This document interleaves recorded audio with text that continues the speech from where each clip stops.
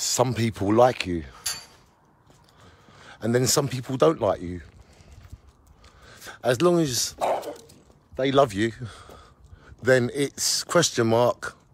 No, it's not really question mark. It's all right. I'm just making you watch the film. Because if I tell you what it is before I make the film, then some people might not watch the film. But you got to watch the film to know what question mark meant. meant. And question mark meant if they love you, then it's real. And it's really I love you. And ladies and gentlemen, I know that we're all different personalities. We're all very different people. Some people live in Jaywick. Some people live in London. Some people live on the moon.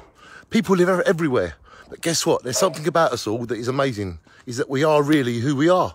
And that makes us who we are, which means that you can only love us for who we are and you can only not love us for not who we are. But the point is, at least we are who we are. And that makes it okay, I think. And it's easy just to ignore someone if it ain't good for you or it ain't good for them. But the main thing is, is that we be ourselves. And then you can love or dislike someone for being genuine. And you don't have to tell them, you can just ignore them. But ladies and gentlemen, you got to love them for being themselves. Shine on everybody. And I love you like nobody else. Shine on.